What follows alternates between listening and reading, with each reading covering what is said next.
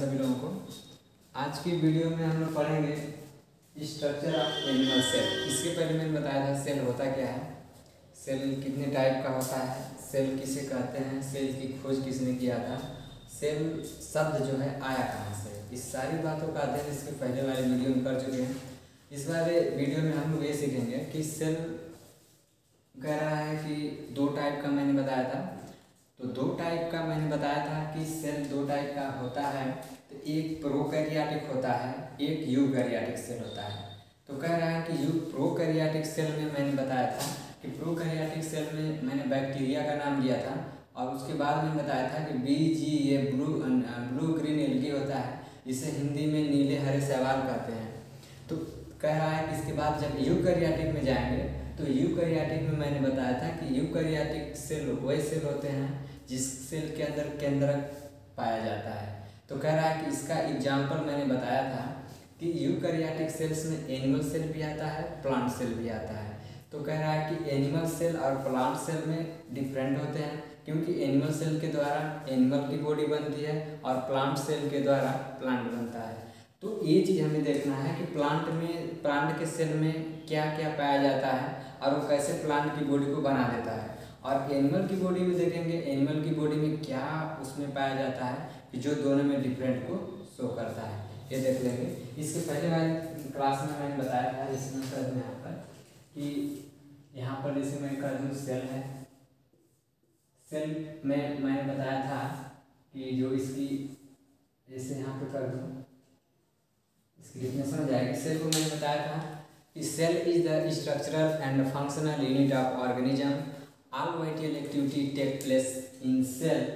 Cell are two types on the basis of nucleus. It was first discovered by robert hooke 1665 इसके बाद मैंने बताया था कि cell are two types on the basis of nucleus first is card मैंने यहाँ पे लिखा था कि पहला जो हमारा होगा, यहाँ पर हो जाएगा प्रोकैरियोटिक। क्या हो जाएगा? प्रोकैरियोटिक सेल होगा और दूसरा हो जाएगा दूसरा यहाँ पर होगा कह रहा है कि यू कैरियाटिक क्या होगा? यू कैरियाटिक सेल होगा। दो टाइप के होते हैं। तो इसके बाद बताएँगे कि प्रोकैरियोटिक सेल किसे कहते हैं? तो मैंने लिखा था, इस यहाँ पर एक, मैंने लिखा था, ऐसे हो जाएगा न्यूक्लियस एम का मतलब न्यूक्लियस हो जाएगा और यहाँ पर हो जाएगा कह रहा है कि ऑब्सेंट ए से ऑब्सेंट कह रहा है कि जिस सेल में न्यूक्लियस हमारा ऑब्सेंट होगा, उस सेल को क्या कहेंगे? उस सेल को कहेंगे प्रोकैरियोटिक सेल। और जिसमें हमारा न्यूक्लियस तो यहाँ पर होगा एन ऐसे ही होगा, जिसमें न्यूक्लियस प्रेजेंट होगा, उसे कहेंगे यूकैरियोटिक सेल। हो गया? अब इसके बाद मैंने बताया था कि प्रोकैरियोटिक अगर सेल है, प्रोकैरियोटिक को अगर आप सेल मानते हो तो इसके पहले मैंने बताया था कि कोई भी सेल हो, वह सेल हमेशा कह रहा है कि किसी न किसी ऑर्गेनिज्म की यूनिट होता है संरचनात्मक या क्रियात्मक इकाई होती है। तो आप ये बताओ कि जो प्रोकैरियोटिक सेल की बात यहाँ बताया है कि जो सेल दो टाइप का होता है एक को प्रोकैरियोटिक बोलते हैं। अब कह रहा प्रोकैरियोटिक सेल के द्वारा किस ऑर्गेनिज्म का निर्माण होता है? क्योंकि यह सेल है, किसी न किसी ऑर्गेनिज्म को बनाता होगा। तो एग्ज़ाम्पल पे यहाँ हमारा हो जाएगा कि यहाँ पे एग्ज़ाम्पल हो जाएगा, कि एग्ज़ाम्पल में यहाँ पे हो जाएगा। जैसे मैंने बताया था बैक्टीरिया क्या बताया था? बैक्टीरिया यहाँ पे हो जाएगा बैक्टीरिया बैक्टीरिया एक ऐसा माइक्रो ऑर्गेनिज्म है, जिसकी होल बॉडी लिख सकते हैं। Bacteria bacteria made up of या whole completely body compose of the prokaryotic cells because it cells has no nucleus या लिख सकते हैं, इसमें न्यूक्लियस ऑब्सेंट होता है। इसके बाद सेकेंड ऑर्गेनिज्म में मैंने बताया था, यहाँ पे लिखा था कि बी जी ए क्या लिखा था? बी जी ए मैंने इसका फुल फॉर्म बताया था ब्लू ग्रीन एलगी एलगी यह हो जाएगा तो यहाँ पर हो जाएगा इसका फुल फॉर्म हो जाएगा ब्लू ग्रीन एलगी इसको हिंदी में नीले हरे शैवाल बोलते हैं। अब बताओ कि प्रोकैरियोटिक सेल वह सेल होता है, जिसमें न्यूक्लियस अब्सेंट होता है। न्यूक्लियस अब्सेंट हाँ प्रोनस अब्सेंट होता है। और इसका एग्ज़ाम्पल बताइए। तो आप बताएँगे बैक्टीरिया बैक्टीरिया की बॉडी प्रोकैरियोटिक सेल का बेस्ट एग्ज़ाम्पल है, क्योंकि बैक्टीरिया की बॉडी प्रोकैरियोटिक सेल से बना होता है। इसके बाद हमारा कह रहा है कि ब्लू बीजीए बीजीए का फुल फॉर्म मैंने राइट किया ब्लू ग्रीन एलगी नीले, हरे सवाल होता है। तो ये ये जो कैटेगरी है, यह प्रोकैरियोटिक सेल के लिए एनिमल नाम यहाँ पे यूकैरियोटिक सेल में चले आएँगे। यहाँ पे लिखा गया एन और पी लिखा गया। एन का मतलब होता है न्यूक्लियस एन का मतलब क्या होगा यहाँ पे? जैसे मैं लिख दूँ, यहाँ पे हो जाएगा न्यूक्लियस न्यूक्लियस हो जाएगा। अब कह रहा है न्यूक्लियस न्यूक्लियस के आधार पे दो टाइप का होता है। अब यूकैरियोटिक में कह रहा है, कि यहाँ पे कह रहा है कि यूकैरियोटिक आर दो cell in which nucleus is present जिसमें न्यूक्लियस प्रेजेंट होता है, उसे हम यूकैरियोटिक सेल बोलते हैं। इसके बाद हमारा हो जाएगा, कह रहा है कि इस सेल का बेस्ट एग्ज़ाम्पल क्या होगा? इस सेल का हमारा जो एग्ज़ाम्पल होगा जैसे मैं कह दूँ, यहाँ पर एग्ज़ाम्पल एग्ज़ाम्पल के तौर पे आपको बताना होगा तो यहाँ पर हो जाएगा। जैसे मैं कह दूँ एनिमल सेल क्या हो जाएगा?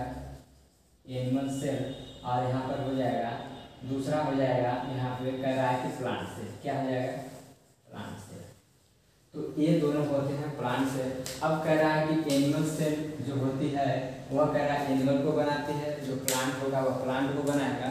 तो कह रहा है कि एनिमल और प्लांट सेल में क्या डिफरेंट होते हैं? तो इसको हम स्ट्रक्चर के माध्यम से इसका अध्ययन करेंगे कि एनिमल सेल की सेल के अंदर क्या चीज़ें, क्यों कौन कौन से कोशिका में पाए जाते हैं? ये हमारा कॉन्सेप्ट कॉन्सेप्ट हमारा है ये आपको प्रीवियस नॉलेज में जो प्रीवियस क्लास में दे दिया गया था। वहाँ पे आप इसको देख सकते हैं। यहाँ पे सिर्फ़ इसको बताने के लिए इसको दिखाया गया है। तो आगे आके देखते हैं कि इसका स्ट्रक्चर क्या है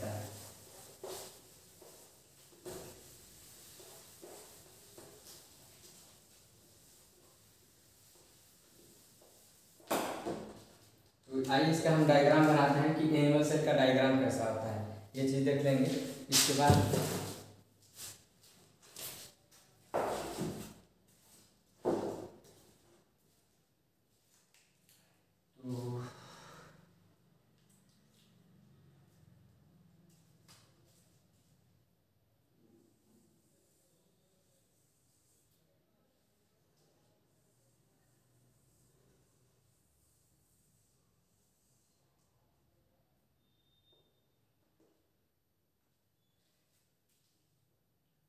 इसके बाद हमारा हो जाएगा यहाँ पे।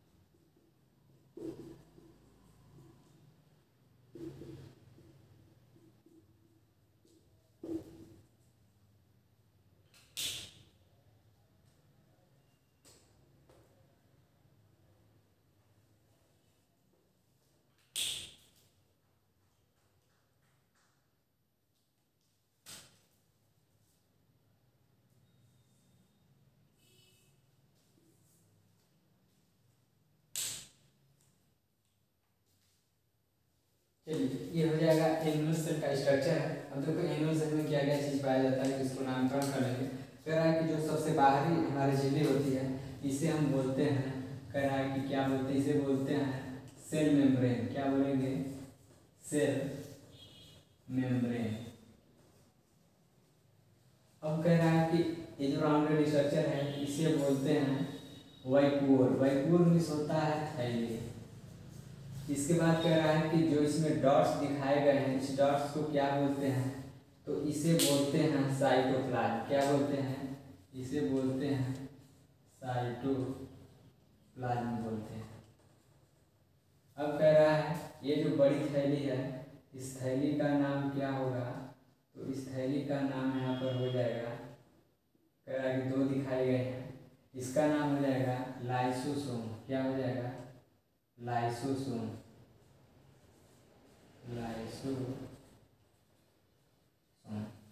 अब कह रहा है कि जो यहाँ पर राउंडेड स्ट्रक्चर है, मैंने पहले बताया था कि एनिमल सेल तो यूकैरियोटिक है इसमें न्यूक्लियस होगा।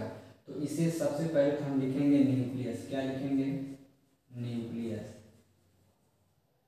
न्यूक्लियस अब कह रहा है न्यूक्लियस के बाहरी मेम्ब्रेन को बोलते हैं न्यूक्लियर मेम्ब्रेन क्या बोलेंगे? न्यूक्लियर मेम्ब्रेन न्यूक्लियस के अंदर एक बड़ा सा स्ट्रक्चर है, इसका नाम हो जाएगा न्यूक्लियोलस क्या हो जाएगा? न्यूक्लियोलस न्यूक्लियस के अंदर जो पदार्थ भरा है, इसका नाम हो जाएगा न्यूक्लियोसोम न्यूक्लियोसोम न्यूक्लियस के बाहर जो संरचना है, इसे हम बोलते हैं इंडो इसे बोलते हैं, ये वाली संरचना है, इसे बोलते हैं माइटोकॉन्ड्रिया क्या बोलेंगे माइटोकॉन्ड्रिया अब कह रहा कि जो बाहरी संरचना है, इसे क्या बोलते हैं? तो इसे बोलते हैं, कह रहा है कि ये हो जाएगा इंडो इंडोप्लाज्मिक रेटिकुलम। क्या हो जाएगा?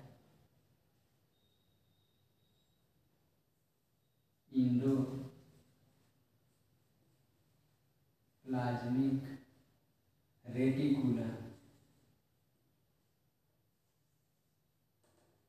रेटिकुलम।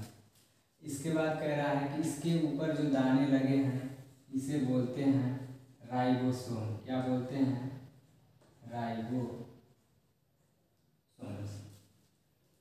अब कह रहा है कि ये जो संरचना है, इसे बोलते हैं गोल्जी कॉम्प्लेक्स। क्या बोलते हैं?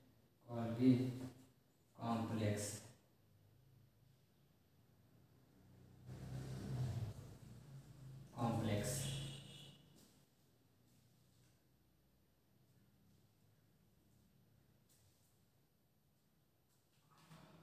इसमें कुछ ऐसी संरचना होती है जिसे बोलते हैं क्रोमोजोम क्या बोलते हैं क्रोमोजोम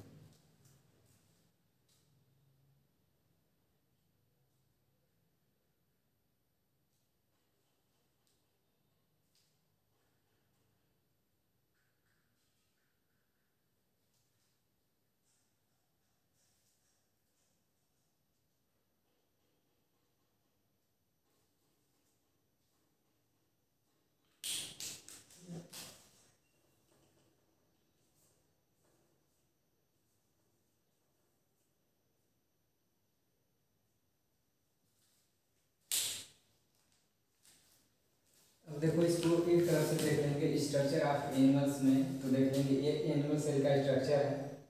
और एनिमल सेल के स्ट्रक्चर में क्या क्या चीज़ पाया जाए क्या क्या कोशिकांग होते हैं, उसे हम देख लेंगे। पहले भी लिखा गया है सेल मेम्ब्रेन सेल मेम्ब्रेन किसे कहेंगे? कोशिका के सबसे बाहरी झिल्ली को क्या कहेंगे? सेल मेम्ब्रेन कहेंगे। जो, जिसका मेन फ़ंक्शन ये होता है कि जो main function of the protection of the internal organ इसका मेन फ़ंक्शन ये होता है, कोशिका के आंतरिक अंगों की सुरक्षा प्रदान करना। दूसरे नंबर पे वैपोल है वैपोल का मतलब होता है रितिका होता है। रितिका का रितिका इसके अंदर छोटी छोटी होती हैं, लिख सकते हैं अपसेंट होता है। इसीलिए प्लांट की सॉरी एनिमल की जो सेल होती है वह सेल यानी नरम होती है। यह वैपोल प्लांट कोशिका में बड़ी होती है, इसलिए प्लांट की कोशिका हार्ड होती है। साइटोप्लाज्म को बताएँगे, आप जो सेल है सेल के अंदर एक जिलेटिनस चिपचिपा पदार्थ भरा होता है, और उस पदार्थ को नाम क्या देते हैं, उसे बोलते हैं साइटोप्लाज्म बोलते हैं। इसके बाद रहा है कि अगली संरचना जो है लाइसोसोम है। लाइसोसोम को बताएँगे it is one type of the organelles it contain fifty type of enzyme it is the main function of the digestion इसका मेन फ़ंक्शन क्या होता है? यह क्या करता है? जो फंगी बैक्टीरिया या जो हमारे कोशिका में सेल मर जाते हैं, चोटिल होने के बाद बाउंस बाउंस वाले पार्ट पे जो सेल मर जाता है, उसको ये क्या करता है? डाइजेशन करने का काम करता है। और इसके बाद कह रहा है कि लाइसोसोम क्या करता है? जब से एनर्जी नहीं मिलती तो जीव को काम को कभी कभी मार देता है। इस वर्ग के अनुसार लाइसोसोम को suicidal back of the cell कहा जाता है। कोशिका की आत्मघाती थैली कहा जाता है। इसको बारी बारी से पढ़ना है को अगला है, यहाँ पे लिखा गया है न्यूक्लियस इस पूरे स्ट्रक्चर का नाम क्या है? न्यूक्लियस इस पूरे स्ट्रक्चर का नाम क्या है? न्यूक्लियस बताएँगे the central part of the cells are called as nucleus कोशिका के केंद्रित पार्ट को न्यूक्लियस करते हैं। क्या कहेंगे? The central part of the cell कोशिका के केंद्रित भाग को क्या कहेंगे? न्यूक्लियस कहेंगे। इसके बाद बताएँगे, नीचे लिखा गया न्यूक्लियर मेम्ब्रेन तो इसके बाद जाएगा कि the outer covering are call the outer covering of nucleus केंद्रक के बाहरी आवरण को क्या कहेंगे? न्यूक्लियर मेम्ब्रेन कहते हैं। इसके बाद लिखा गया है न्यूक्लियोलस न्यूक्लियोलस को बताएँगे nucleus also contain small spherical structure are as nucleolus यहाँ जो हमारा केंद्रक होता है, वह केंद्रक अपने अंदर एक छोटा गोलाकार संरचना रखता है, जिसे हम कहते हैं न्यूक्लियोलस अगला है न्यूक्लियोसोम है। न्यूक्लियोसोम को बताएँगे। Nucleus also contain gelatinous substance in our body which are called nucleosome यानी केंद्रक अपने अंदर चिपचिपा पदार्थ रखता है और उस लिक्विड तरल का लिक्विड की तरह पदार्थ रखता है और उस पदार्थ को क्या नाम देते हैं? उसे बोलते हैं न्यूक्लियसोम अगला है, बताएँगे माइट्रोकॉन्डिया माइट्रोकॉन्डिया बहुत ही फ़ेमस ऑर्गेनाइज है मैंने रेस्पायरेशन में बताया था। कि माइट्रोकॉन्डिया के अंदर पूरा रेस्पायरेशन का प्रोसेस कंप्लीट होता है, भोजन का ऑक्सीकरण होता है, इसीलिए माइट्रोकॉन्डिया को कहा जाता है ये mitochondria power house of cell है। इधर चले आएँगे। यहाँ पे न्यूक्लियस के बाहर स्केल्टन की तरह संरचना लगी है, जिसे हम कहते हैं इंडोप्लाज्मिक रेटिकुलर इसका मेन फ़ंक्शन ये हो जाएगा पूरे बॉडी को स्केल्टन देता है, जिसके काम उसका हमेशा टर्जिड या तनी स्थिति में रहती है। अगला लिखा गया राइबोसोम है राइबोसोम को बताएँगे cell are also small contain in small grains like structure which are called as ribosome ribosome ribosome are the main function of the protein synthesis और इस राइबोसोम का मेन फ़ंक्शन ये होता है कि यह प्रोटीन का निर्माण करता है कोशिकाओं के अंदर। अगला है गॉल्जी कॉम्प्लेक्स है। गॉल्जी कॉम्प्लेक्स गॉल्जी कॉम्प्लेक्स भी कोशिका के अंदर देखेंगे, नली की समान संरचना होती है। और इस संरचना का मेन फ़ंक्शन ये होता है कि कोशिका के अंदर है जब स्पर्म बनता है तो उस स्पर्म के जो कैप लाइक स्ट्रक्चर होता है, वहाँ पर यह क्या करता है, उसके हेड का निर्माण करता है। अगला लिखा गया है क्रोमोजोम बताएँगे। न्यूक्लियस के अंदर धागे की समान संरचना होती है, जिसे हम क्रोमेटिन या क्रोमेटिन या क्रोमोजोम नाम दे सकते हैं। इसके अंदर डीएनए और आरएनए हमारा पाया जाता है। तो ये हो जाएगा हमारा एनुअल सेल्स इसको आप देख लीजिएगा। और इसको देखने के बाद इसमें जो मतलब समझ में आएगा नहीं आएगा, उसको कमेंट के माध्यम से बताइएगा। तो आज के लिए फ़िलहाल इतना है। बाकी अगले वीडियो में।